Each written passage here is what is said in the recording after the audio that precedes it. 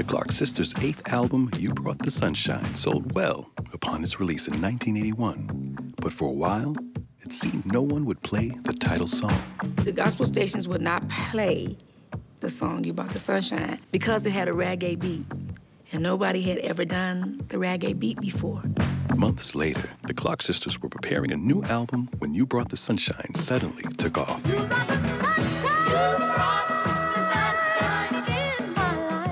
Story has it that the chief rocker, Frankie Crocker at WBLS in New York City, played their song, You Brought the Sunshine. And, uh, you know, supposedly that was the first time it was played on, I guess, secular radio.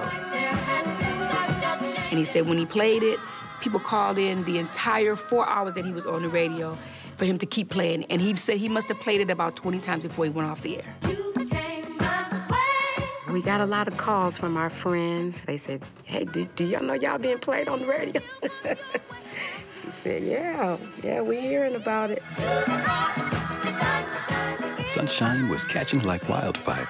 It was climbing the R&B charts and was a hit on the dance floors and discos around the country, including New York's notorious Studio 54.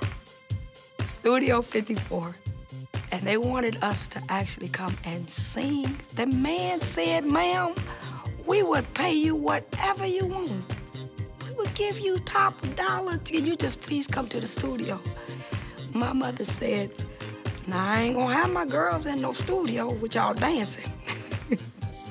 Whether they performed in nightclubs or not, Sunshine was a huge crossover success and their first significant taste of financial success.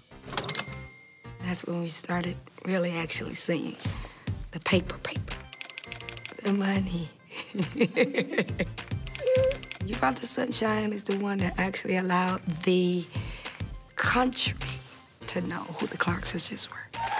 But the highs didn't last long. Church leaders didn't like the idea of the gospel music fueling those wild disco nights. Because they feel like, how can you write gospel music and you got worldly people listening to your music and buying your music? It should be just church people.